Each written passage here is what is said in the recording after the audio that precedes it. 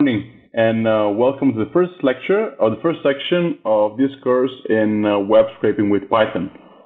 In the first section, we will uh, we will go through like the fundamentals of web scraping with Python, and uh, specifically in this uh, lecture, we will go through how to retrieve web page. So what does it mean to retrieving web page, and how can uh, this process be done? All right, let's get started. All right.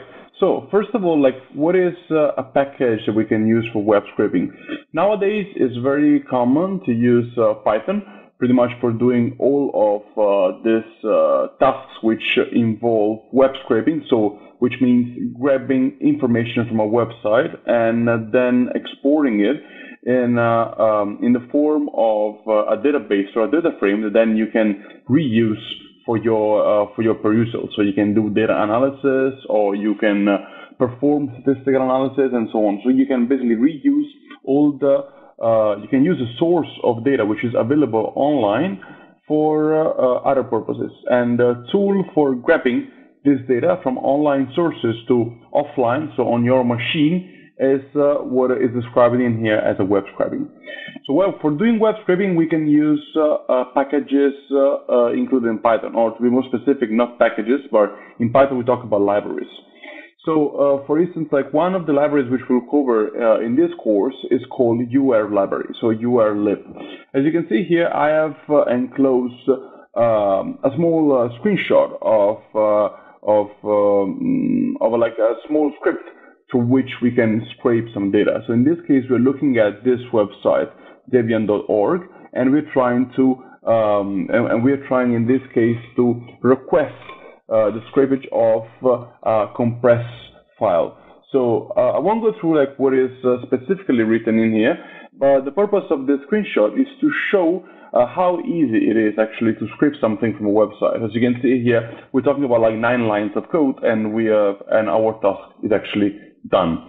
So um, as you can see, in this case, um, in this case, it was pretty easy, and uh, and the only the, the main um, the main part actually the script is the request. So we create a request on a website, and then we uh, and then we do like some other tasks. So, but the first thing, the thing, the thing we have to bear in mind is request because we will be uh, we will be using this concept in the future. So another, example here. So we have, uh, again, this is again a request. So we are importing this library. We're going to use URL library. And uh, then we will request URL. And then uh, and then after after uh, performing this request to a URL, which in this case I've changed website, so I've used geeksforgeeks.org, uh, which is actually a very good uh, learning source in case you wanna you wanna learn more. And then you can print basically everything that was at a, that, that was read through uh, the request of the URL, which is the, which is the variable on the second line. And uh, an example of uh, what is that, got printed is uh, provided in this script, in this uh, screenshot. So as you can see, actually we got through only like three lines of code. We're able like to get actually a lot of information. So we can see that a lot of the information which is present of this website has already like been uh, been scraped, let's say, and uh, we got it offline. In this case, we only printed it. But we can imagine this can be exported to database and we can reuse it for uh, other purposes. So uh, that's all for this for this lecture, and let's go on next one. Thank you.